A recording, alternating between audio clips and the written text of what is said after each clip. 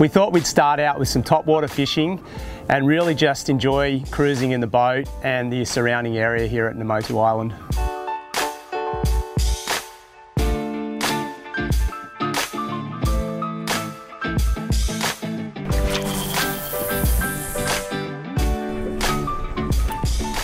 We started to work a little bit of reef that I've actually never fished and as we came around there was some deep water, a couple of bommies sitting there and we could see some bait flickering on one of them and I banged a cast in on the other side of the bommy, pulled it past and actually seen the bluefin trevally come out and smash the lure. What have you got there, Sneaky? Little bluefin trevally, nailed the stick bait. Whew, nice fish too. Nice way to start the morning, couple of casts on this little shallow bommy and bang, this little fella nailed the stick bait. How good are the colours, iridescent blue. Bluefin trevally are one of the most common species that we get here on top water.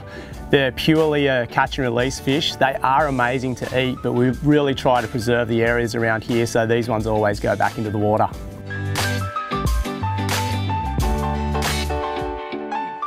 What's beautiful around these surrounding islands at Namotu are the super high cliffs over beautiful beaches with a bunch of palm trees and the water clarity on top of that. It's just another world. Was taken back by how beautiful it is.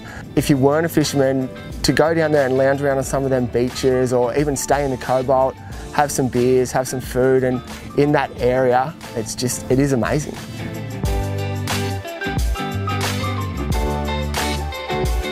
So it was a bit of a new area down there. We thought we'd bang on some surface lures and just work some edges. We actually had quite a few follows and we didn't produce any big fish from that area, but you could see it had so much potential.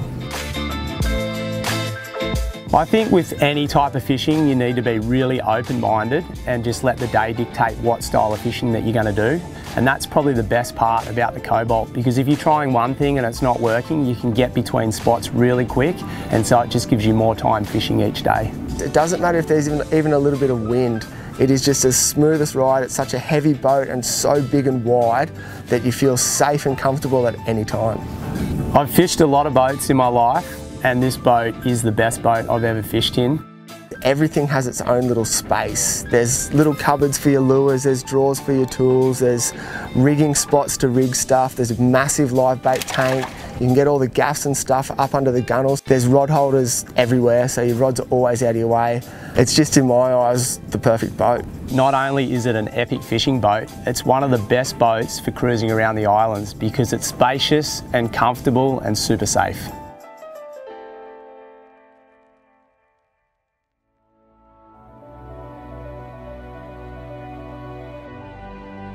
The GT fishing around here at Namotu is incredible and we thought we'd save the best for last. We knew the tides were going to be really good for topwater fishing so we kind of planned our day around the sunset and the tides to fish the bommies and structures around the back of Namotu. Just on sunset we came up to this bait ball and we knew that there was a GT around it. Dyllon gave me first cast and I put it in the perfect position. Oh! Yeah. Yes! Yeah. Good, yeah. Oh. It barely landed. It must have been washing in the sky. There was a really tight ball of bait fish. Casted my lure right on top of it. And literally as soon as my lure hit the water, the big GT just smashed it. I still don't have control of him yet. He's way bigger than what I can handle. Too much pressure on, so I just got to be patient at this point. The power of these things is insane. You feel every head kick. They're just the beasts of the ocean. Oh, it's a good, wow, a really good fish. You can see right now I've just got a treble right in his gill. So have to be really careful with him here. This is the first time that we've done any type of uh, GT fishing from the side of this boat and the gunnels are super high so I got the fish to the side of the boat and I felt like I'd won the battle. And then Dyllon was trying to reach down to tail it to bring it back in, but because his arms are so short, he couldn't actually reach the fish. And it kept going around in circles. He'd almost get it and miss it. And the whole time my heart was pumping because I felt like we are going to lose the fish at this point. Ben's freaking out because the hooks about to pull out its face. I had to get Micah, the captain, to hold my legs as it leant over to pick this really heavy GT up to get it over the side. Yes! Well done, Wilson. Oh my God. Good This fish. thing is insane. Okay, look at this thing. Like this thing literally launched out of the water as soon as my Look stick how bait, easy that came out. as soon as my stick bait hit the water, he was straight on it.